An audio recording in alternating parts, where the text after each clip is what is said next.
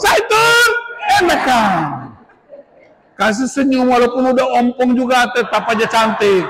Haleluya. GBKP pakai istilah zaitun buat orang yang lanjut usia. Di gereja tertentu namanya Rolex. Rock Golden Age, representative of Christ Kingdom usia emas. Ada yang menyebut lansia, gereja tertentu menyebutnya cool, komisi usia lanjut. Ya, apa pun istilahnya, bilang sama orang sebelah, udah tua, bilang. Coba ikuti saya, menjadi tua itu pasti. Menjadi dewasa itu pilihan.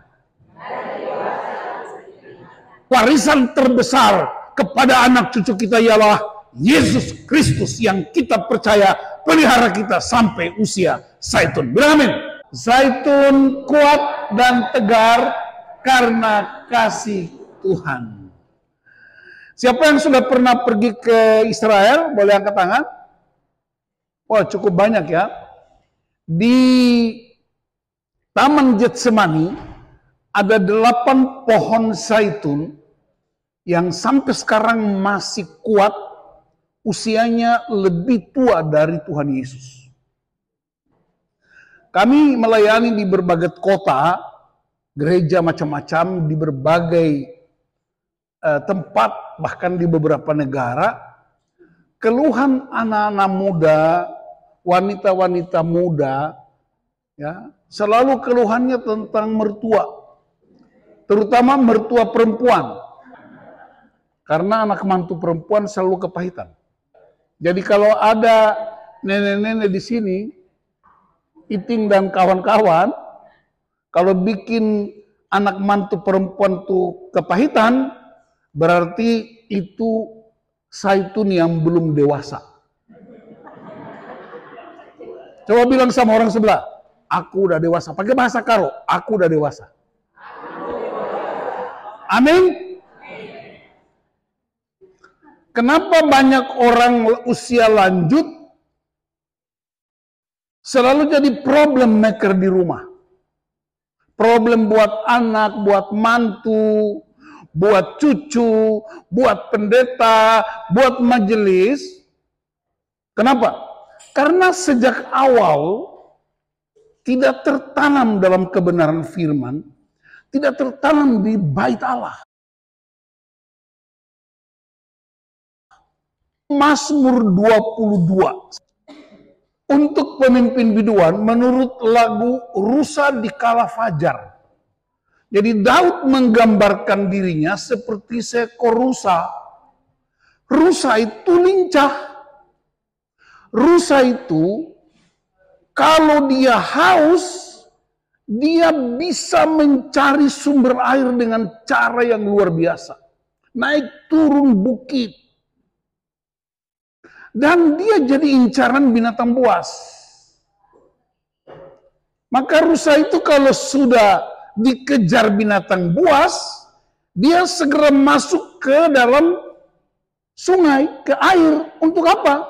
Menghilangkan jejak karena begitu masuk ke air, ini suara saya kerasin untuk mengimbangi telinga-telinga yang sudah memasuki usia-usia masih anak muda.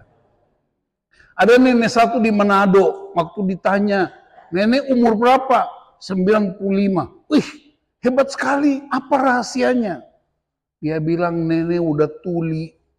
Loh, apa apa hubungannya? Nenek udah tuli, jadi kalau Tuhan panggil, nenek nggak dengar. Haleluya. Jadi perhatikan, rusa itu kalau dikejar binatang buas, dia masuk ke dalam sungai. Karena rusa itu ciri khasnya baunya dicium oleh binatang buas. Begitu masuk ke sungai, baunya hilang berarti hilang jejak. Daud, Raja Daud, ini Daud ini kayaknya dia marga sembiring kali ya. Atau tarigan. Hah? Tarigan.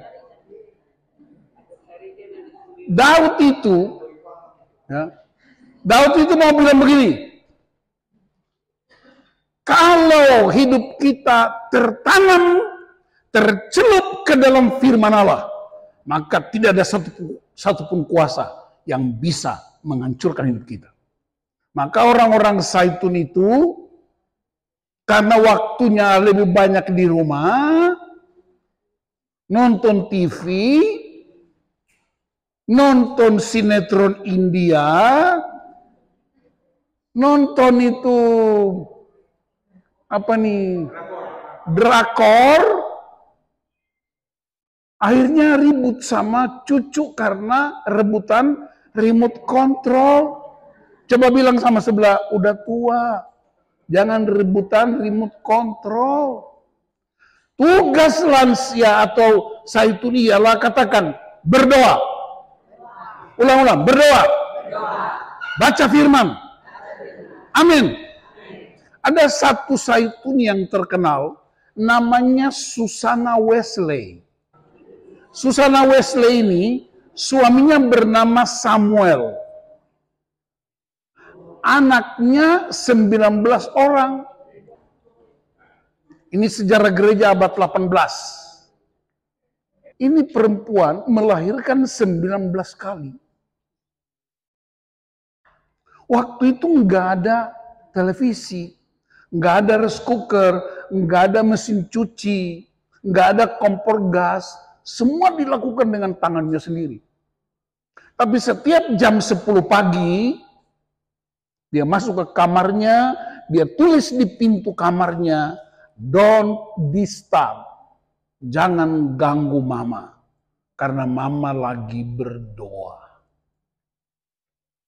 Dan apa yang terjadi dua anaknya sangat terkenal, yaitu Charles Wesley yang mengarang lagu-lagu rohani yang memberkati seluruh dunia. Lalu anak yang satu lagi John Wesley, penginjil yang sangat terkenal, memenangkan jutaan jiwa bagi kemuliaan Tuhan. Jadi ada lagu di Manado, siapa bilang itu tidak berguna. Bangun pagi, berdoa por anak cucu. Jadi bangun pagi berdoa, bukan cerewet. Baca firman. Amin. Supaya apa? Kuat. Katakan kuat. Sebab Injil itu kekuatan Allah. Bilang, Injil kekuatan Allah. Roma pasal 1 ayat 16. Paulus bilang di kitab Korintus, sekalipun tubuh jasmani kami lemah merosok, tapi jiwa kami, batin kami terus mengalami pembaharuan dalam Kristus. Amin. Jadi banyak keluarga baru problem sama mertua. Bukan karena uang. Karena kita beda.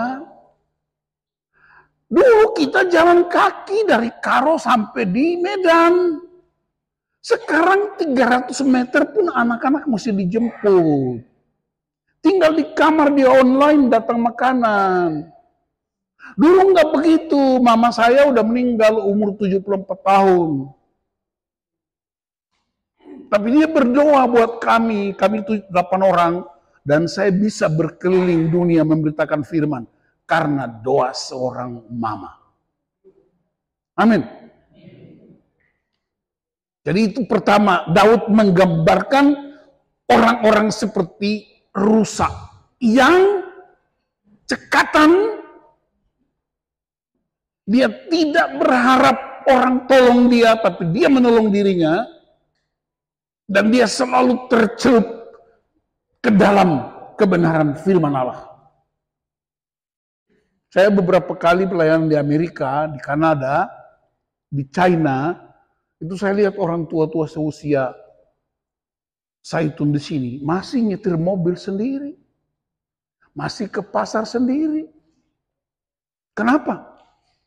Bukan karena obat-obatan, Tapi mereka sejak kecil dilatih untuk tidak membebani orang lain. Amin. Jadi itu yang disebut dewasa. Makanya kata saitun itu dia menggambarkan bukan hanya pohonnya, tapi tempat bukit saitun terjadi dua peristiwa. Peristiwa pertama Yesus menangis di atas bukit saitun ketika melihat kota Yerusalem rusak. Yang kedua, di atas bukit saitun Yesus naik ke sorga. Berarti kata saitun membuat GBKP mestinya menjadi sebuah idiom yang sangat luar biasa. Coba lihat wajah kiri kanan bilang, kita saitun. Coba, kita saitun. Amin. Lihat Daud bilang begini, Allahku, Allahku, mengapa engkau meninggalkan aku? Itu Daud panggil Tuhan, mengapa Tuhan meninggalkan dia? Tapi saya itu sekarang, anakku, anakku, cucuku, kenapa kamu tinggalkan nenek? Beda ini. Allahku, Allahku, mengapa engkau meninggalkan aku? Aku berseru tetapi engkau tetap jauh dan tidak menolong aku. Raja Daud, raja yang berkuasa. Dia berkenan kepada Tuhan. Orang yang luar biasa. Kaya raya. Pasukan berkuda. Istana megah. Orang Ambon bilang Daud sengaja lawang. Tidak ada lawannya. Tapi dia tetap berseru kepada Tuhan. Katakan berseru kepada Tuhan. Itu mesti ciri orang saitun tuh. Karena warisan buat anak cucu kita bisa binasa. Tanah bisa dijual. Emas bisa dijual. Rumah rusak dan bisa dijual. Tapi hubungan dengan Tuhan tidak dapat diperjualbelikan. Itu hanya bisa diwariskan kepada anak cucu. Bilang amin. Wow, pentingnya saitun itu. Jadi jangan main-main dengan saitun. Bahasa lainnya lanjut usia. Karena mereka punya pengalaman yang luar biasa dengan Tuhan. Jalan kaki berkilo-kilometer. Masak sendiri tidak ada AC waktu itu. Sekarang semuanya serba gampang. Makanya generasi yang muncul sekarang generasi gampangan. Makan klik aja online. Naik mobil online. Sampai gereja pun online. Sambil buka Zoom tapi bisa nonton yang lain sambil buka sum, tutup kamera, dan makan. Ini mengerikan buat kita. Generasi yang hilang dari hadirat Tuhan. Maka saya berdoa supaya kita pulang dari sini mulailah. Terus kita melatih anak-anak kita, cucu-cucu kita. Supaya mereka tetap punya koneksi dengan Tuhan. Amin. Perhatikan, Kenapa Daud merasa ditinggal Tuhan? Allahku, aku berseru-seru pada waktu siang, tetapi engkau tidak menjawab. Dan pada waktu malam, tapi tidak juga aku tenang. Siang malam Daud berseru. Seolah-olah Tuhan tidak dengar. Sebenarnya bukan Tuhan tidak dengar. Sebenarnya Tuhan mau supaya kita bergantung sepenuhnya kepada Dia. Amin. Kekristenan yang benar adalah kekristenan yang bergantung sepenuhnya kepada Tuhan. Bapak Ibu, para saitun, jangan kira Tuhan tidak dengar seruan kita. Jangan kira Tuhan tidak pernah peduli dengan kita. Dia peduli. Nah perhatikan Daud sedang merepresentasi, mewakili atau menggambarkan Yesus Kristus. Di mana? di atas kayu salib. Di salib itu Yesus berseru, Eloi, Eloi lama sabatani. Bapa mengapa engkau meninggalkan aku? Bapa tidak meninggalkan Yesus. Kenapa Daud bilang Allah meninggalkan dia, Allah tidak mendengar seruan dia? Nih dengar saya terangkan. Daud itu manusia biasa. Seperti kita. Daud pernah bikin dosa. Dia minta ampun sama Tuhan dan Tuhan mengampuni dia. Bilang amin. Yesus tidak bikin dosa. Tapi Yesus mengambil alih dosa kita. Waktu dia disalib dan dia berseru, Elo elo lama sabatani. Mengapa engkau meninggalkan aku? Sebenarnya Bapak tidak tinggalkan. Bapak hanya memalingkan wajah. Ini lihat, perhatikan ya. Yesus berseru, Bapak palingkan wajah. Dia bukan tinggalkan, tinggalkan itu pergi. Tapi Bapak memalingkan wajahnya. Kenapa? Karena dia jijik atas dosa yang ditanggungkan kepada Kristus. Karena dosa kita yang ditanggung kepada Yesus, maka Bapa jijik. Katakan, dosa itu menjijikan. Satu, dua, tiga. Dan Yesus sudah selesaikan itu di kayu salib. Itu sebabnya sesama saitun dilarang saling gosip. Karena Yesus sudah selesaikan. Bilang amin. Amin. Padahal engkau yang kudus yang bersemayam di atas puji-pujian orang Israel. Kepadamu nenek moyang kami percaya. Mereka percaya dan engkau meluputkan mereka. Kepadamu mereka berseru-seru dan mereka terluput. Kepadamu mereka percaya dan mereka tidak mendapat malu.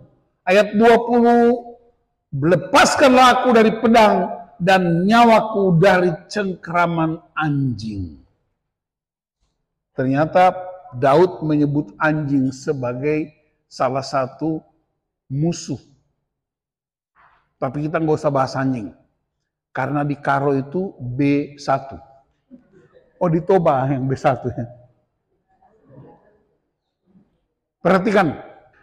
Daud bilang sama Tuhan, nenek moyang kami di Mesir, engkau selamatkan. Mereka berseru, Tuhan dengar.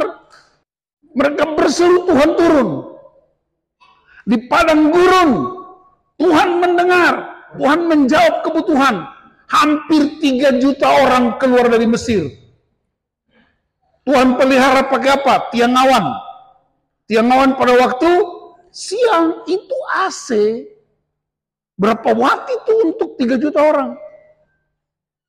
Pada waktu malam, tiang api. Tiang api itu apa? Listrik berapa watt? Daging burung puyuh. Bukan BPK. Repot nanti kalau masak BPK itu. Jadi semua kemudahan diberikan. Air keluar dari batu karang. Sudah begitu bangsa ini tetap keras kepala. Tidak tahu bersyukur. Penuh keluhan-keluhan. Tuhan sudah kasih usia 60-70 masih mengeluh. Tuhan bilang kenapa gue waktu itu umur 3 tahun aja aku ambil. Udah dikasih sampai 70, udah mau 80 masih mengeluh terus. Bukannya bersyukur. Karena tidak semua orang bisa sampai saitun. Amin. Jadi kita punya gaya hidup bersyukur. Karena Tuhan pelihara kita sampai hari ini. Kita bisa lihat anak cucu cicit. Itu penghormatan Tuhan yang luar biasa. Ingat Tuhan hormati kita. Dengan cara apa? Dia memberi umur panjang untuk menikmati anak cucu kita. Amin. Coba ikuti saya. Menjadi tua itu pasti. Tetapi menjadi dewasa itu pilihan. Jadi kita tiap hari mesti memilih. Bagaimana cara mengetahui kita dewasa? Yaitu melalui apa? Respons. Waktu hujan, terima kasih Tuhan. Waktu panas, bujur melala Tuhan. Waktu cucu anak-anak berkunjung, haleluya. Mereka tidak berkunjung, puji Tuhan. Karena mereka harus menghidupi keluarganya. Jadi Saitun tidak boleh cengeng. Amin. Katakan Saitun harus selalu berseru kepada Tuhan. Ingat, berseru kepada Tuhan, usia kita nggak di diskon. Tetap 70 tahun, naik terus sampai 80. Terus sampai 90. Bukan supaya bumi ini penuh orang. Tapi Tuhan sedang mengajarkan kita untuk mewariskan Kristus bagi orang lain. Warisan terbesar bagi generasi baru bukan rumah. Karena orang tidak percaya Yesus juga punya rumah yang lebih mahal. Warisan buat anak cucu kita bukan mobil mewah. Karena orang nggak percaya Yesus juga punya mobil mewah. Warisan terbesar buat anak cucu bukan sawah ladang. Karena orang tidak percaya Yesus juga punya sawah ladang. Warisan terbesar kepada anak cucu kita ialah Yesus Kristus yang kita percaya pelihara kita sampai usia Saitun. Bilang amin. Saitun! Saitun! Enak aku. Saitun! Enakan.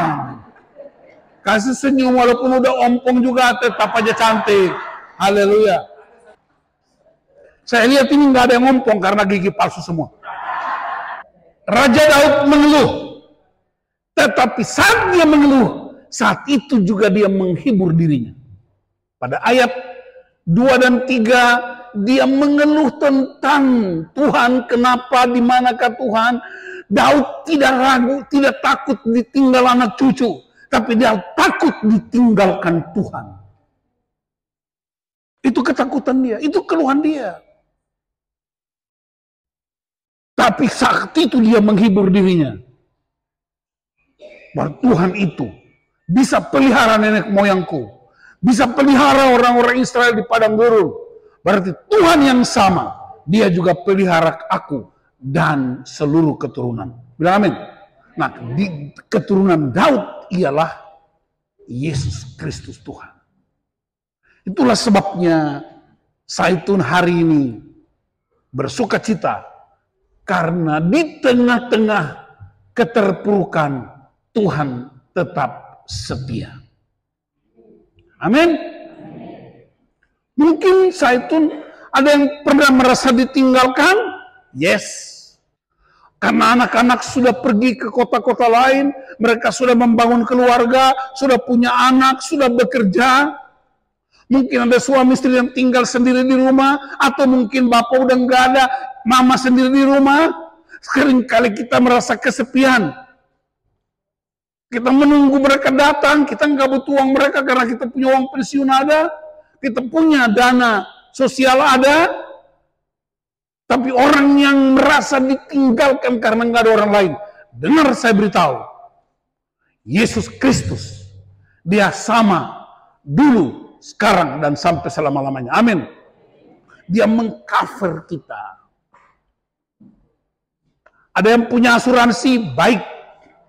Ada yang punya tabungan, baik. Tapi semuanya terbatas. Tapi Yesus Kristus, dia mengcover kita, hati kita, jiwa kita. Dan itulah warisan yang mesti dibagikan kepada orang lain. Itulah sebabnya Saitun tetap kuat. Katakan kuat. Bukan fisiknya, tapi imannya. Bilang amin. Dia tetap tegar di tengah masa sulit. Dia tidak takut.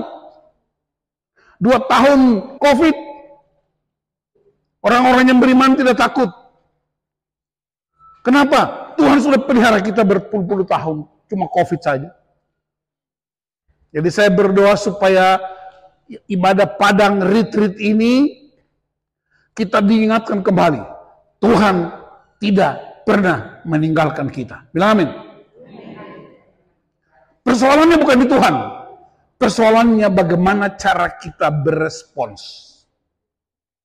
Hujan bagaimana respons kita. Panas bagaimana respons kita. Anak-anak cucu-cucu kumpul bagaimana respons kita.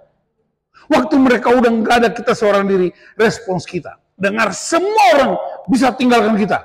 Tapi Tuhan tidak pernah tinggalkan kita. Bilang amin. Itulah kekuatan saitun itu. Maka dengar kata saitun artinya pohon yang terkuat di muka bumi. Minyaknya dipakai untuk mengurapi raja-raja, minyaknya juga untuk kesembuhan, minyaknya untuk makanan yang sehat. Bukit Zaitun tempat Yesus menangis atas Yerusalem yang hancur, tapi di Bukit Zaitun itu tempat Yesus naik ke sorga. Maka ketika semua dengar kata Zaitun, bersyukurlah. Zaitun! Zaitun! Zaitun! Enak kita. Amin. Wow. Katakan, Tuhan tidak pernah meninggalkan kita. Dia terus pelihara kita. Usia yang lanjut. Tanda pengasihan Allah. Bagianku ialah mewariskan Kristus buat anak cucu. Kasih senyum kiri kanan, kasih senyum. Haleluya. Senyum, senyum. Senyum sumringah senyum. Haleluya. Amin.